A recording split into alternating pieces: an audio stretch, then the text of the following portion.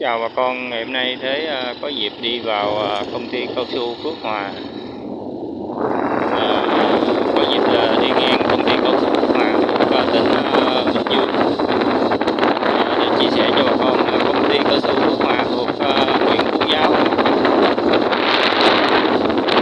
Gần tới rồi Thì à, Thế cũng hay chia sẻ giá mũ ở công ty cao su à, Phước Hòa à, Nhưng à, chưa có một lần nào à, để đi đến à, trực tiếp à, công ty hết thì ngày hôm nay có dịp đi à, ngang quay chia sẻ cho bà con luôn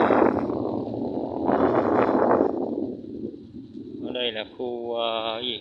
Khu nhà máy chế biến ờ, cao su bố lá.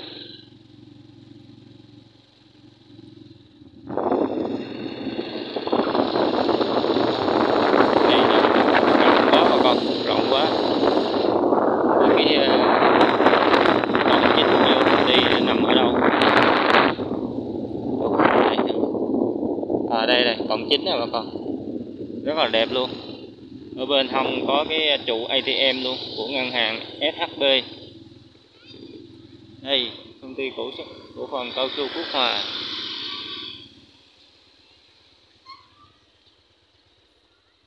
Đây công ty cổ phần công ty cổ phần cao su Phúc Hòa nha bà con. Cái cổng quá đẹp luôn. Ở bên trong à, nhiều cái à, khung cảnh đồ đẹp quá ở đây làm cỏ, giống như cỏ nhân à, cỏ nhân tạo nè. Làm như sân banh cỏ để à, dùng để đá banh mini á. Đây thì cũng à, bên gần phía công ty thì cũng có hàng xóm cũng có bà con hộ dân rồi nhà cũng gần đây có những em bé vui chơi rồi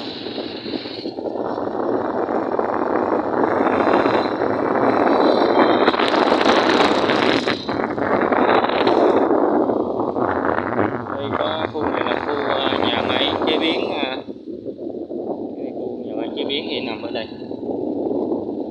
Cái à, văn phòng chính à, á, phòng chính thì nằm ở đó.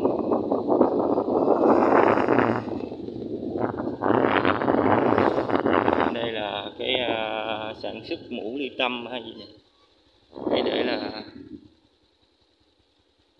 ở cái chỗ cho khu chế biến nè bà con.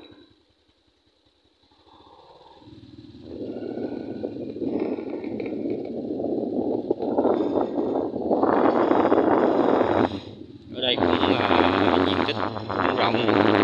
Bên cạnh xung quanh đây thì có những cái hồ Đó, bờ rào bờ rào của công ty. Ở đây có cái hồ à, thấy à, bà con câu cá rồi cũng nhiều. Hồ cũng rộng mà con hồ này thấy cá ta, nhiều cá tấp bóng quá trời.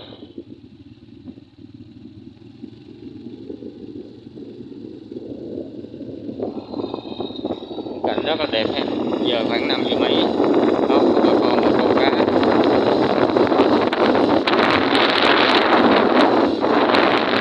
Bữa nay có dịp ờ, đi ngang à, công ty cao su ờ, Hòa thuộc à, Phú Giáo á. Bây giờ hãy quay chia sẻ cho bà con bây giờ đến đây thì tiếp theo kết thúc và tiếp tục hành trình đi đến chỗ làm của Thái ha.